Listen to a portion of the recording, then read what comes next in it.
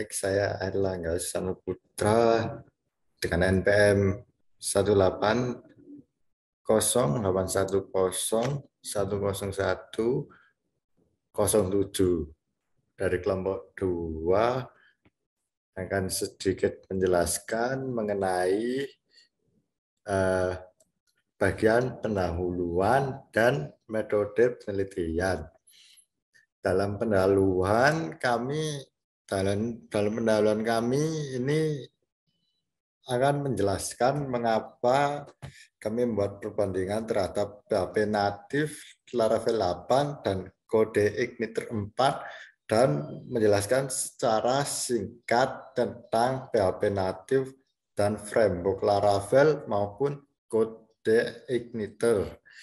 Uh, selain itu dalam pendahuluan ya mungkin masih kurang lengkap dan kami akan berusaha untuk melengkapinya lagi. Selanjutnya adalah metode penelitian. Pada metode penelitian ini kami yang kami lakukan pertama adalah dengan mengimplementasikan eh, masing-masing dari PHP natif, framework Laravel, dan framework Igniter pada dengan mengimplementasikan pada aplikasi pendataan barang berbasis web. Dan ya dengan memiliki web eh, dengan memiliki spesifikasi yang sama pada tiap-tiap program tersebut Lalu pada parameter parameter yang dibandingkan pada penelitian ini ada jumlah baris code, efisiensi kode program, kecepatan, struktur folder dan URL, arsitektur, dan keamanan. Selain itu pada progres kami metode penelitian ini juga masih kurang lengkap dan kami akan berusaha untuk melengkapinya kembali Uh, ya, terima kasih. Hmm, baik, selanjutnya uh, saya Akbar Umar akan menjelaskan untuk hmm, saya akan menjelaskan uh, untuk uh, progres uh, pemrograman web untuk yang versi PHP natif. Karena kemarin dari kelompok kami sudah membuat untuk versi Laravel. Lalu selanjutnya untuk komparasi kami membuat uh, versi yang sama persis namun menggunakan natif PHP. Uh, ini merupakan tampilan dari webnya sama persis seperti yang kemarin di Laravel. Ini menggunakan PHP natif. Saya lihat di sini. Ini untuk codingnya sebentar dia ada di index.php. Nah, di sini menampilkan untuk halaman login. Oke. Okay. Uh, di sini user bisa melakukan login. Uh, juga sudah ada validasi juga. Jadi semisal uh, tidak ditemukan maka dia akan menampilkan uh, alert ya. Bisa tidak ditemukan dalam database. Jika di reload maka dia hilang ya. Karena dia uh, disimpan dalam session dan ketika ditampilkan dia langsung dihapus dari session sehingga dia langsung hilang ketika di reload dia sudah tidak ditampilkan lagi uh, menggunakan flash message selanjutnya. Itu untuk validasi. Jika user tidak ditemukan uh, selanjutnya uh, jika data benar maka dia akan berhasil login dan diarahkan ke halaman admin. Ini juga halamannya sama persis. Untuk data sudah ada di sini sudah karena kemarin masih menggunakan data introdax masih belum menggunakan data yang ada di sini. Di sini sudah menggunakan data uh, data yang ada dalam database. Jadi sudah dinamis. Di sini ada data pengadaan stok kategori terbanyak untuk yang diagram batang lalu diagram vertikal ada data pengadaan stok barang terbanyak. Bedanya yang atas ini untuk uh, jenis kategori, untuk yang bawah ini untuk eh, masing-masing uh, jenis barang. Yang atas ini uh, misal dia ada rokok. Uh, untuk barang yang mempunyai kategori rokok dia ada 129 stoknya. Selanjutnya ada kategori beras stoknya ada 110 dan seterusnya. Sampai ke bawah ini diambil hanya untuk uh, 7 ya 7 kategori teratas tujuh kategori teratas eh, yang jumlah stoknya paling banyak tujuh teratas diambil lalu ditampilkan dalam dashboard. Sehingga eh, karena memang jumlah kategori bisa ada banyak namun yang ditampilkan di sini hanya untuk yang tujuh teratas saja. Untuk barang juga sama dia diambil di, di sini ada 10 ada 10 teratas yang diambil. Dia juga ditampilkan eh, berdasarkan stoknya. Di sini bisa kita lihat yang terbanyak ada apa ini rokok gudang garam ini. Ya surya gudang garam ada 50 lalu cisamsu kretek 40 lalu ada minuman minute mid palpe orange ya ada 35 uh, ini sepertinya uh, jika animasinya itu agak tertutup nanti akan saya perbaiki. Untuk captionnya agak tertutup jika panjang. Jadi ini sudah menggunakan data master yang ada di database. Datanya sudah dinamis. Oke selanjutnya ini ini untuk, untuk dashboard. E, lalu saya juga ingin menunjukkan untuk logoutnya juga sudah jalan. Oke ketika dia logout ketika dia belum login ketika dia di logout atau belum login lalu dia masuk ke halaman admin maka dia akan di kembalikan lagi ke halaman login karena memang belum login saya coba. Dia kembali ke halaman login. Coba. Ini sudah selesai. Login selanjutnya ada data kategori sini. Oke. okay.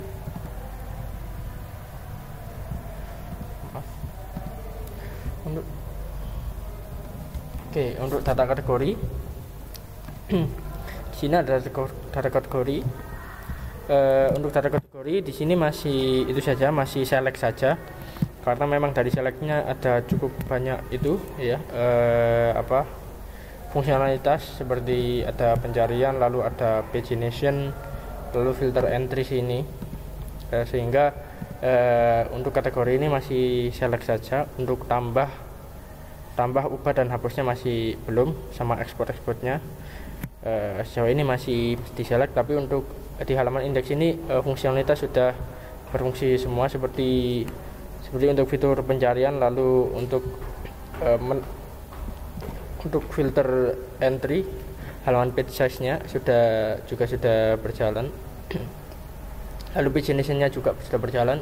Di sini karena menampilkan 10 entry per halaman misal 10 Nah, karena memang datanya cuma 8, maka dia hanya ada satu halaman saja.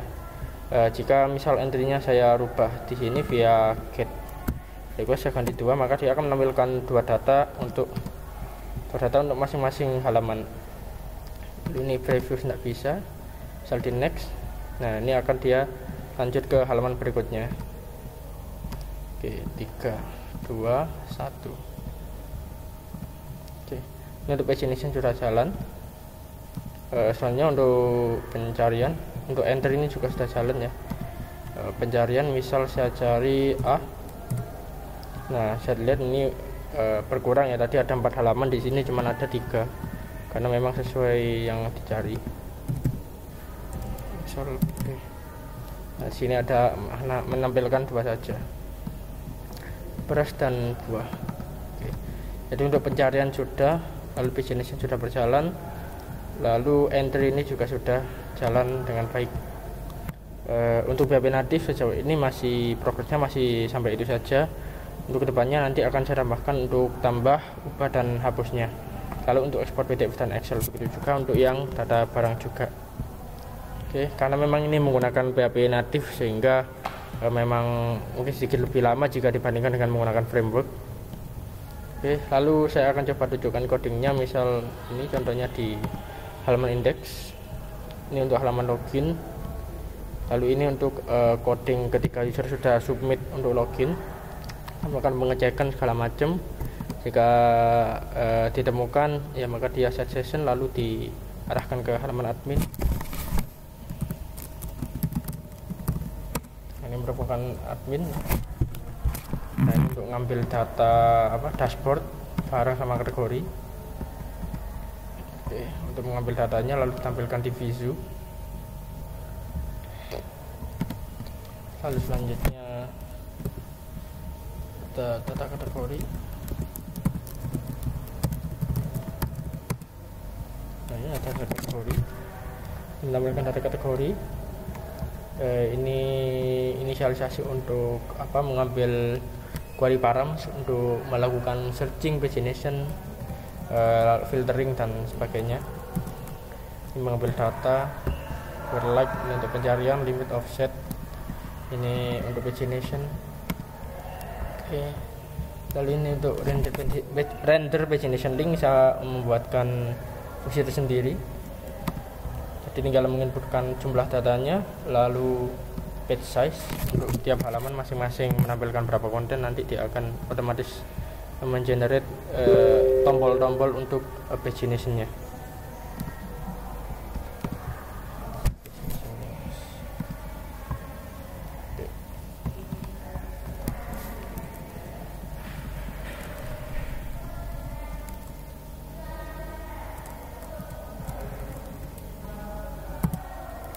Oke, selanjutnya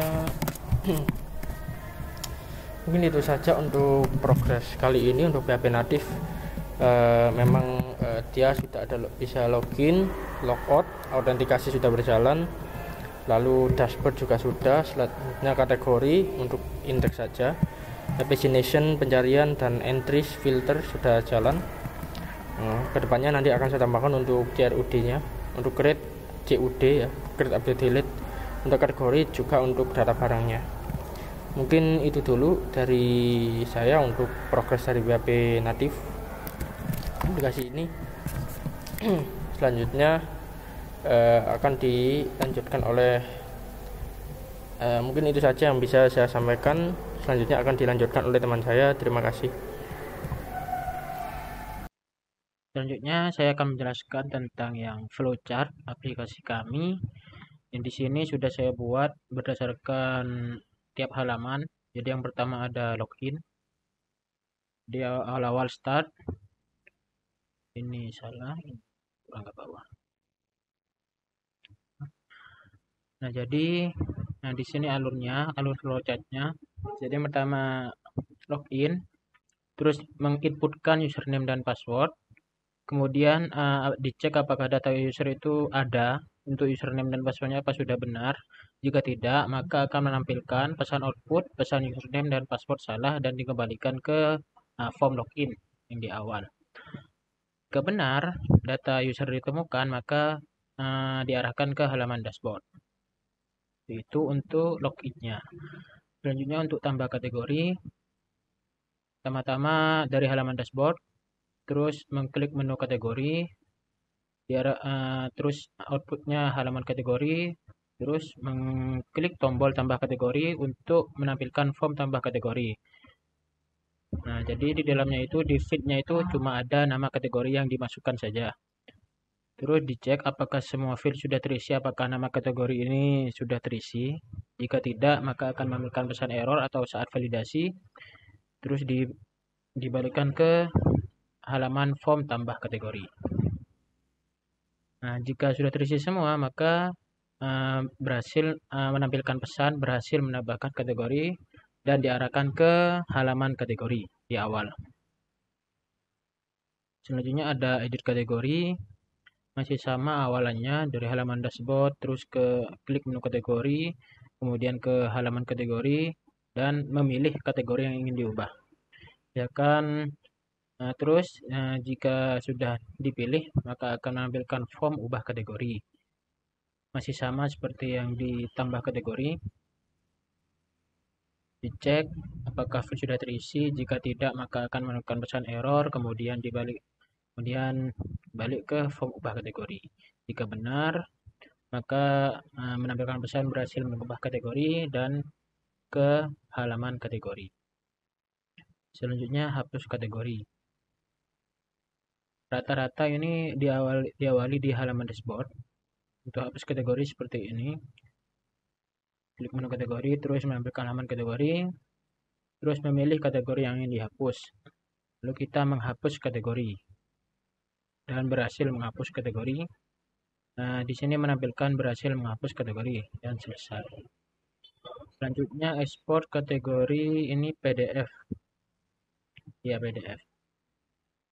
Masih sama, yaitu dari halaman dashboard, terus klik menu kategori, terus uh, dia menampilkan halaman kategori, kemudian terdapat tombol, jadi diklik tombol ekspor PDF-nya, kemudian menampilkan PDF data kategori yang bisa di-download dan ditampilkan.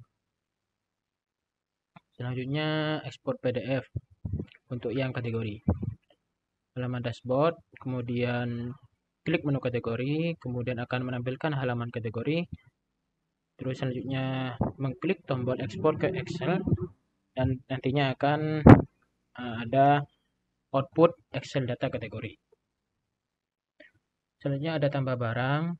Di sini sama untuk tambah barang kategori cuman beda cuman beda jenis saja ini barang yang sebelumnya itu kategori jadi saya akan persingkat saja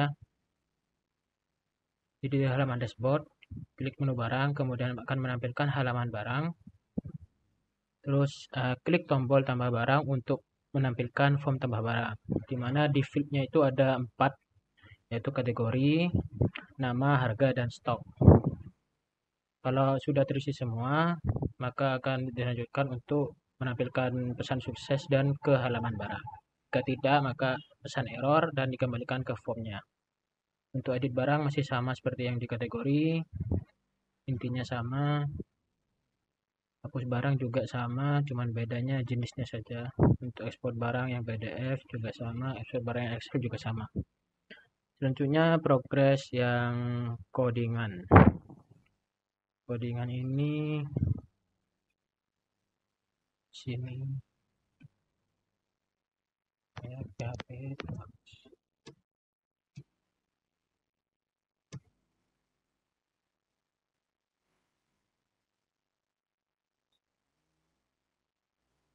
Nah, di sini sudah bisa tampil untuk uh, apa tampilan halaman loginnya, tapi ini masih belum bisa cuman tampilan saja, masih belum autentikasi dan semacamnya.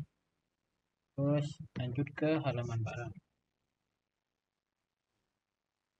Nah di sini di barang ini sudah sudah semua kecuali ekspor PDF dan ekspor Excelnya. Jadi sudah bisa CRUD bisa tambah barang seperti ini bisa makanan minuman namanya misalkan soto harganya 10.000 stoknya 3 misalkan. Jadi sudah muncul juga bisa edit misalkan mau diganti stoknya ke 30 sudah bisa sudah ganti terus bisa menghapus. Jadi CRUD nya sudah berhasil di uh, yang yang yang CI ini yang pakai CI di sini untuk codingannya. Jadi yang pertama itu saya buat controllernya ini semuanya dulu tapi yang diisi cuman barang karena yang lain masih kosong. Sebagai kerangka saja. Jadi yang diisi hanya barang dan rutenya untuk barang dan login tadi yang menampilkan halaman login. Isinya sama sama seperti yang di Laravel cuman ya kalau yang di CA itu kan tidak ada template template itu tidak ada blade template engine-nya. Jadi untuk view-nya itu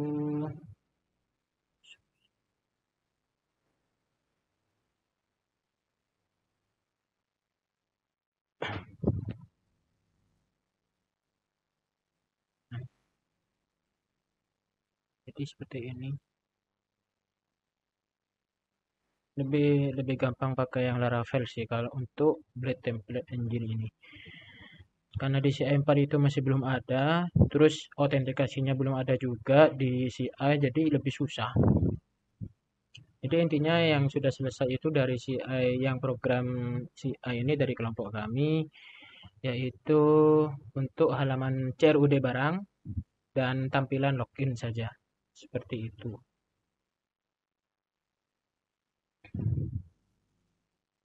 Assalamualaikum warahmatullahi wabarakatuh saya Muhammad Hadir Awaludin ingin menjelaskan progres tentang paper dari kelompok kami.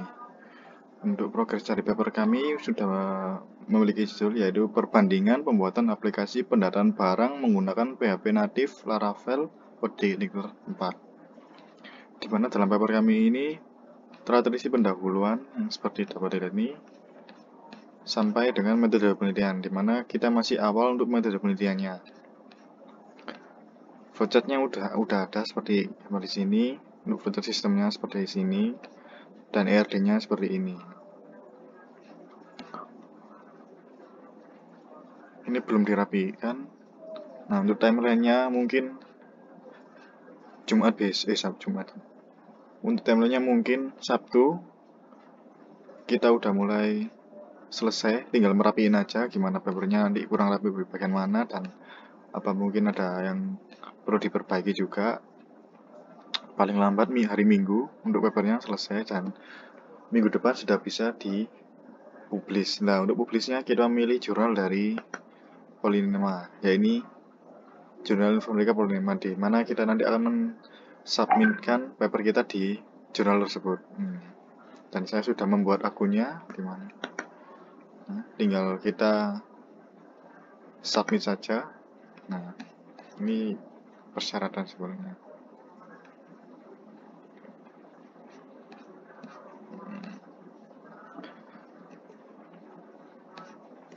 mungkin untuk progres dari papernya seperti seperti ini. Karena dari anggota kami masih ada yang kuliah sambil bekerja jadi kita perlu manajemen waktunya.